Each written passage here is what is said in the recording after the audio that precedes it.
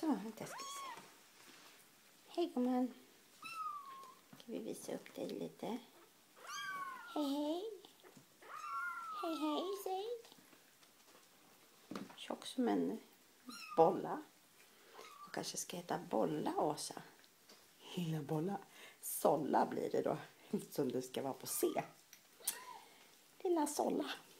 Hej. Hej Solla ett namn så du får väl vara en sålla. Oops. Ska du gå nu då? Här. Ska äta lite mer? Ja, måste ju underhålla bollhullet.